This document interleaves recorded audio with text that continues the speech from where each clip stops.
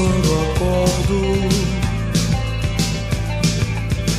Não tenho mais o tempo que passou, mas tenho muito tempo. Temos todo o tempo do mundo, todos os dias antes de dormir. Lembro, e esqueço como foi o dia.